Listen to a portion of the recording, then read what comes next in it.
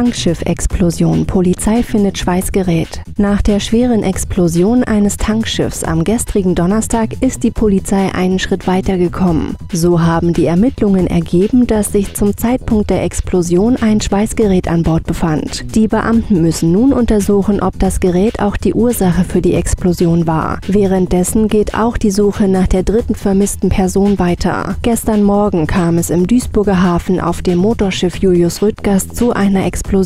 Dabei wurden mindestens zwei Menschen getötet.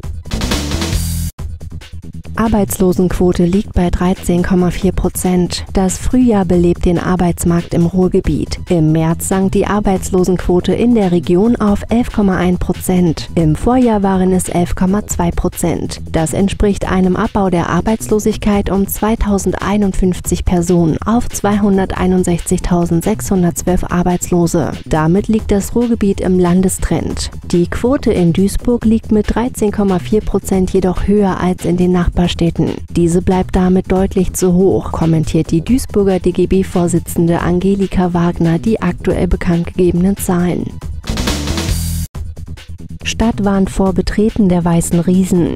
Die Stadtverwaltung warnt vor dem Betreten der leerstehenden Weißen Riesen im Sanierungsgebiet Homberg-Hochheide. Hintergrund ist, dass es trotz der Absperrung immer wieder zu Vorfällen kommt, in denen sich unberechtigte Personen Zugang in das Gebäude verschaffen. Doch dabei besteht Lebensgefahr. Die beiden Hochhäuser an der Friedrich-Ebert-Straße 10 bis 16 und der Otto-Straße 24 bis 30 im Stadtteil Homberg-Hochheide werden nicht mehr bewohnt und stehen leer. Mit den Entkernungs- und Abrissarbeiten soll Ende dieses Jahres begonnen werden.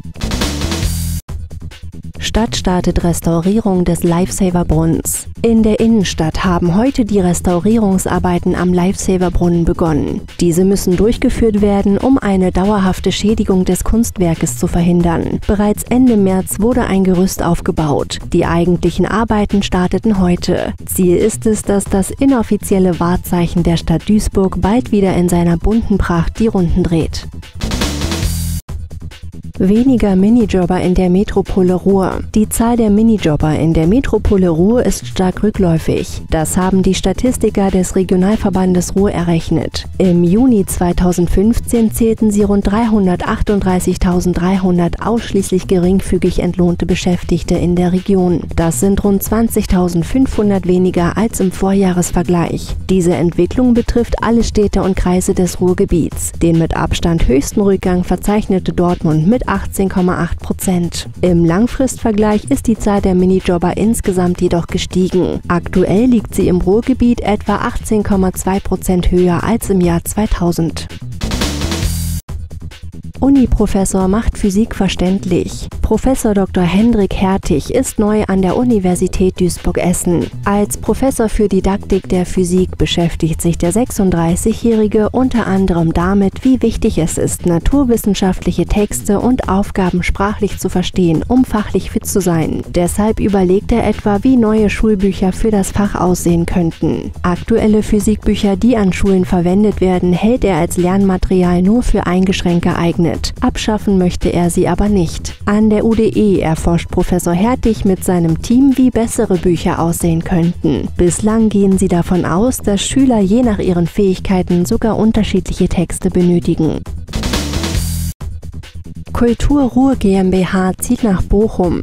Von Gelsenkirchen nach Bochum. Die Kultur Ruhr GmbH, Ausrichter der Ruhr Triennale, baut eine neue Verwaltung auf dem Gelände der Jahrhunderthalle. Anfang 2017 wird die Gesellschaft umziehen. Die Kosten für den Neubau trägt ein privater Investor. Bisher hatte die Verwaltung ihren Sitz in Gelsenkirchen. Gesellschafter der Kultur Ruhr GmbH sind das Land NRW und der Regionalverband Ruhr.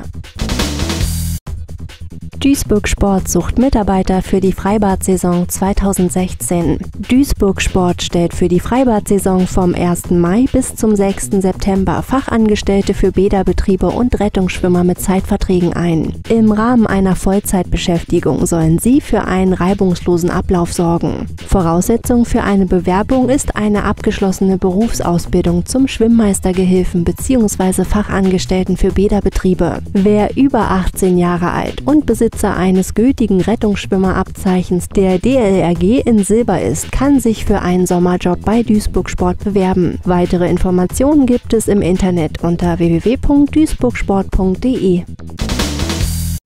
Das Wetter wird Ihnen präsentiert vom Ferien- und Campingpark Wisseler See, der Oase am Niederrhein.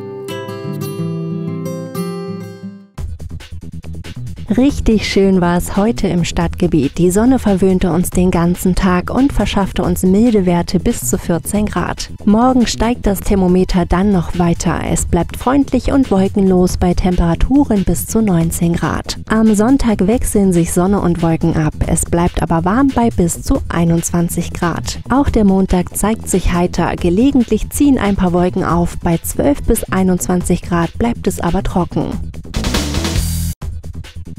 Autofahrer nehmen sie den Fuß vom Gas. Blitzer stehen auch am Wochenende wieder im Stadtgebiet. Und zwar unter anderem auf der Düsseldorfer Landstraße in Buchholz und auf der Fährstraße in Düssern. Und Bauarbeiten behindern die freie Fahrt. In Hamborn ist der Verkehr auf der August-Thyssen-Straße gestört. Der Bereich zwischen Walter-Rathenau-Straße und Markgrafenstraße wird zur Einbahnstraße. Grund sind Bauarbeiten, die voraussichtlich bis Mitte Juni 2016 andauern.